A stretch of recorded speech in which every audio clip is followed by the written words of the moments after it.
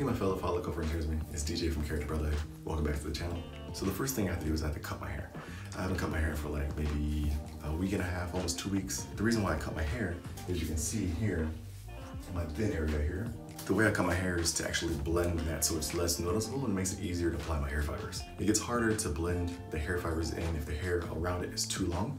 So trying to cover bald spots, especially large bald spots, is really, it's hard with hair fibers. So just, keep, I like to keep my hair short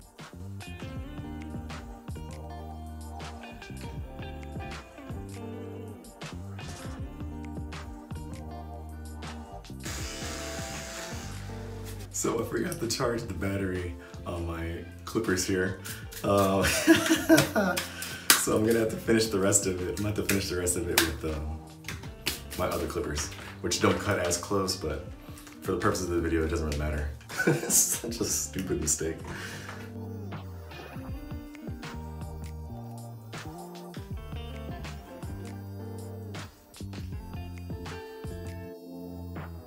So you'll notice that I actually cut my hair following the hair transplant scar. Uh, guys, yes, I have a scar from my hair transplant and there's nothing I do about it. I knew I was gonna have a scar before I even had a hair transplant and it's okay with me. I've lived with this scar for like, shit man, it's like seven, eight years now actually. And um, I've never had a problem with it. People don't talk about it as much as you think they would. I'm also pretty blind, so I gotta put my glasses on for this part.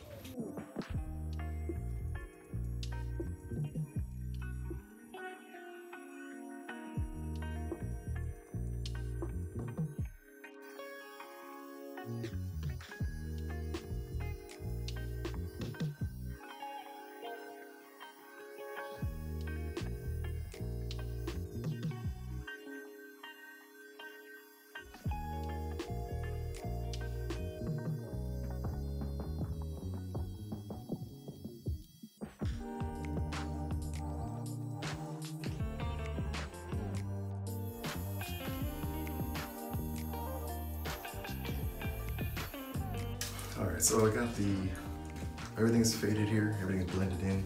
You can see here, I went ahead and faded it. So now, um, it really just depends for the top. If the top is getting longer, uh, I'll, I'll do something with it. Right now, uh, you can notice like I'm thinner right here in the middle, right here. So in this case, what I might want to do is this little dark patch here. Maybe I'll thin that out a little bit. But for now, I'm just going to leave it. I'm not gonna touch it. Uh, because the hair fibers will fix that part anyway, so now we just line up the front.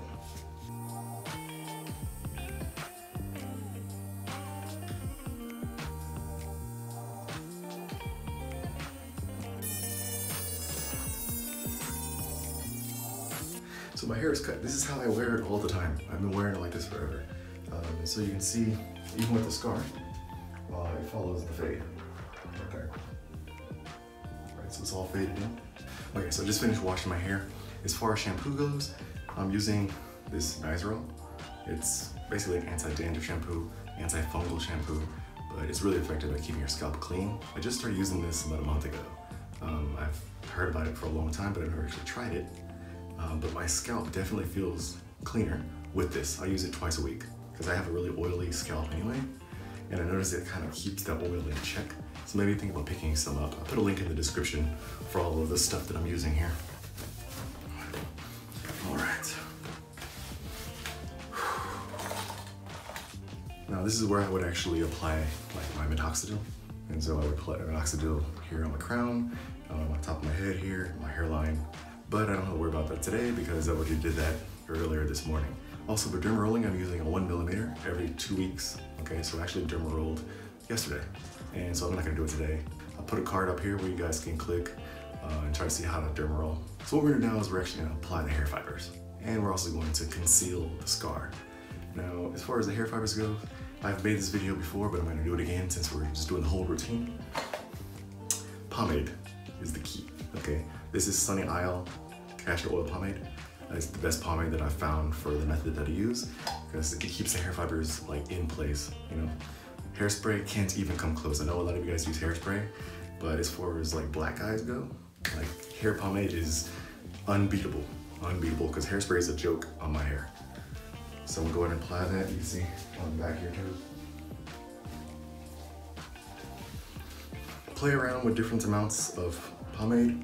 Um, I used to use a little bit of pomade because I was like completely bald back there. But these days I use a bit more pomade because I have more hair on top of my head. Now I also used to blow dry my hair to get it to lay down. Um, so I would put a wave cap on. I would put the wave cap on.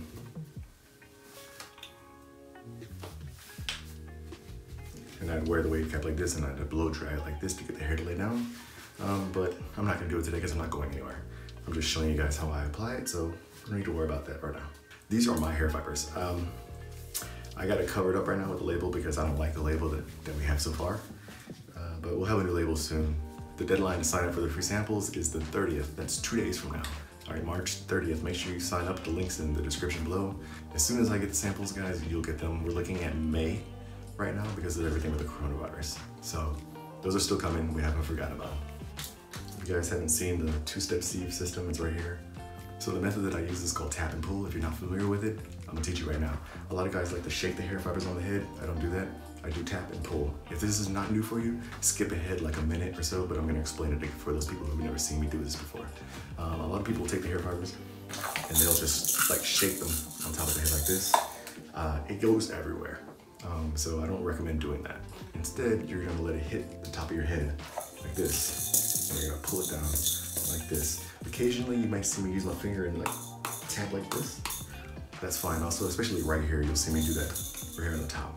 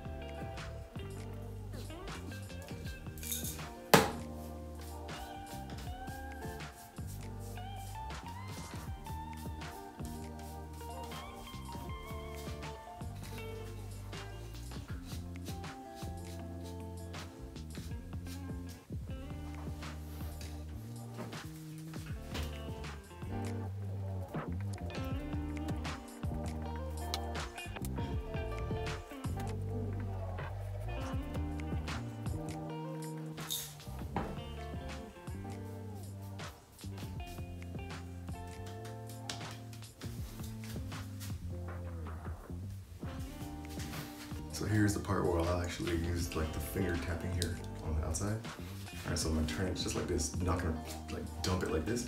You're just gonna turn it, you'll see it fall out like that, like that. And then when it goes, I'm gonna tap it like this. It just comes out like that. On the hairline, I'm just gonna turn here and I'm gonna tap it in like this.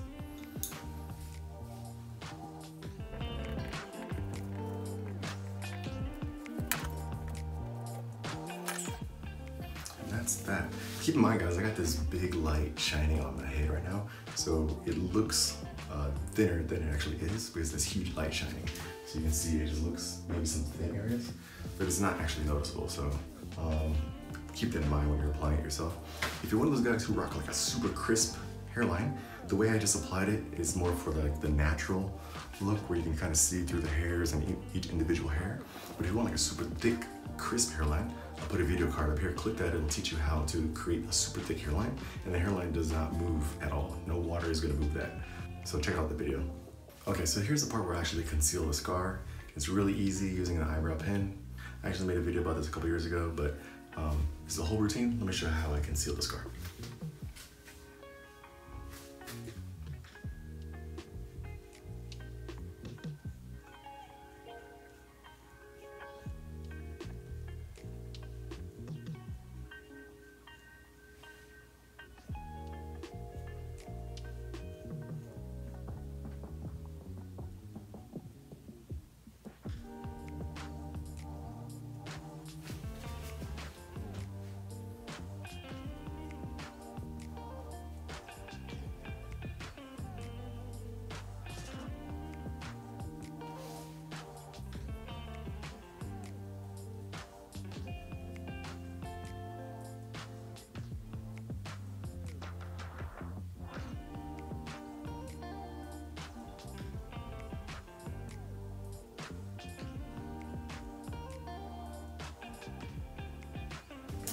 And that's it. You can see that from this distance. And it's actually pretty hard to see the scar unless you're really looking for it. Of course, if I come right in here and I turn my head, of course you can you can you can see the scar, but most people ain't up on you like that. And if they're up that close to you, they probably don't care that you have the scar anyway. So that's it guys. That's my whole hair loss routine. Um, of course, cutting my hair only happens weekly, so that takes time. It takes like maybe 10, 15 minutes for me to cut my hair. But as far as like the using the pomade, the hair fibers, and if I use eyebrow pen, this process probably takes me about 10 minutes, 12 minutes max. Hopefully you found this video helpful guys. If you've got some kind of value from it, hit the like button and share it with your friends who also need to see it, okay? My name is DJ from Keratin Brotherhood. I'll see you in the next video.